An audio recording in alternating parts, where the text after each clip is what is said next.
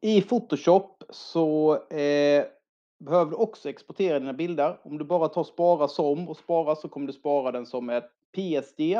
Och PSD det är Photoshops egna format. Det är jättebra om vi inte är färdiga med våra bilder, att vi vill komma tillbaka och jobba mera med bilderna och laborera med alla lager och så vidare som vi vill kunna komma tillbaka till. Men när vi är färdiga med bilden så vill vi inte längre ha den som en PSD utan då vill vi ha den som en JPEG. För att exportera i eh, Photoshop så går jag upp till arkiv. Sen går jag till exportera och exportera som. Då får jag upp en sådan här ruta och det är ganska enkelt här med. Vi kollar så att formatet är JPG. Här står det JPG istället för JPEG. JPEG. Eh, det är samma sak. Det är bara olika sätt att skriva på. Kvaliteten här, den sätter vi på 6. Av någon anledning så har eh, Photoshop och Bridge två olika skalor här vad det gäller kvalitet.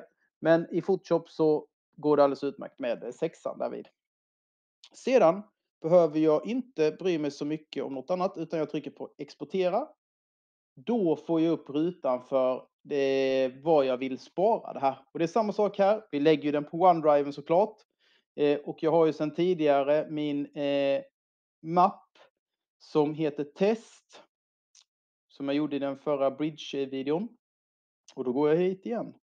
Och lägger den där. Bara för enkelhetens skull. Sen trycker jag spara. Och då ska den här ah, ha sparats i min testmapp. Och det har den.